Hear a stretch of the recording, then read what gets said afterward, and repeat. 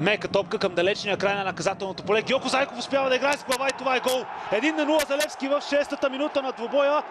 Ето, че смяната на подхода при центриранията от Радослав Цонев даде резултат, защото Геоко Зайков се извиси на цялата отбрана в жълто и черно и извежда Левски напред.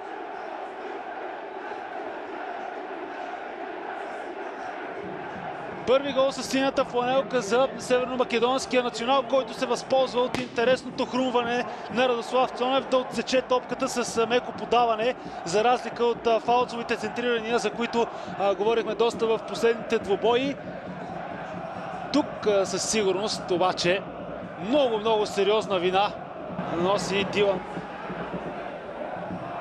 Био Бари срещу Супреен успява да измъкне синия нападател топката и вече е в наказателното поле, където очаква подкрепата на Марин Петков. Топка за Петков и удар над вратата на Аргилашки. Иван Горанов с топка за Борислав Цонев. Удар от движение на синята десетка над вратата. Вече в половината на съперника. Здравко Димитров с гръб към вратата и Николай Минков зад себе си успя да продължи много добре наляво към Горанов. Центриране в наказателното поле и много добра работа на Билал Бари. След това Марин Петков с шанс за втори гол. Здравко Димитров ще прави добавка или пък не, защото се засуети твърде дълго. Тук не взе точното решение Димитров, но иначе центрирането от фланга на Горанов бе добро, а действията на Билал Бари затрудниха Виктор Генев, който не се ориентира по най-добрия начин. Пак Конате и Борислав Цонев също не играха с топката. А, а след това Марин Петков имаше шанс.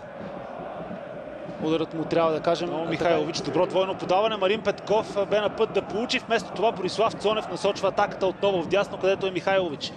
Центриране към далечната града. Здравко Димитров сваля за Радослав Много добра работа на вътрешните халфове Андриан Краев и Радослав Цонев, както и на карето пред тях. Изобщо Струва ми се, че Левски до този момент надиграва категорично Ботев Пловдив. Това ще е шанс за Билал Бари.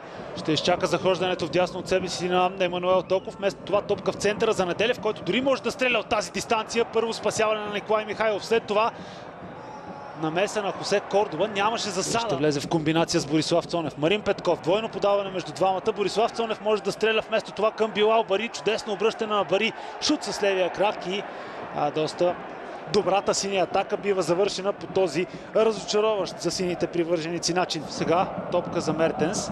Повече свобода ще има Дилан Мертенс след смяната на позицията на Кевин Янсон. Пак на те с шанс да направи резултата един на един. Няма вдигнат флаг за засада и това е много сериозен пропуск на Пако на те.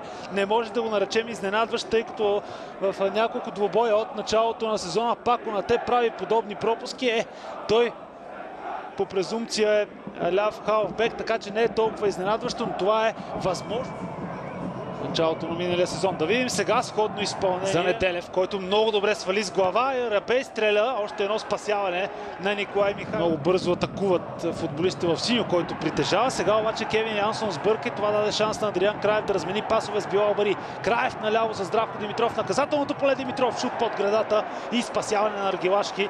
На много висока скорост се случиха нещата тук в този преход от футболистите на Станимир Стоилов. 75-та минута на матча. Борислав Цонев с директен обстрел в близкия ъгъл на Аргилашки. Мертенс. Забави се твърде много с паса. Стана въпрос за тези детински грешки на Дилан Мертенс, които вбесяват Азрудин Валентич, но очевидно изборът пред него не е голям. Здравко Димитров за Борислав Цонев. Удар на Борислав Цонев и 2 на 0 за Левски. Това ще е победа за сините, макар и все още да има достатъчно време до края на двубоя. Втори гол, който праща в екстаз феновете в сектор Б и разбира се всички привърженици на стадион Георгия Спарухов. Предизвикателно изрази радостта си Борислав Цонев към сектора и може би официалните ложи. Стана въпрос и стана въпрос на няколко пъти наистина за тези безобразни отигравания на Дилан Мертенс, който не може да подаде на 5 метра от себе си точно. А прекрасно разгръщане от синята атака и тази асистенция на Здравко Димитров също се струва, защото... Кордова отново перфектно пласиран. Добро обръщане на Сен Митков. Твърде много станаха футболистите в жълто и черно около Митков и въпреки това той намери начин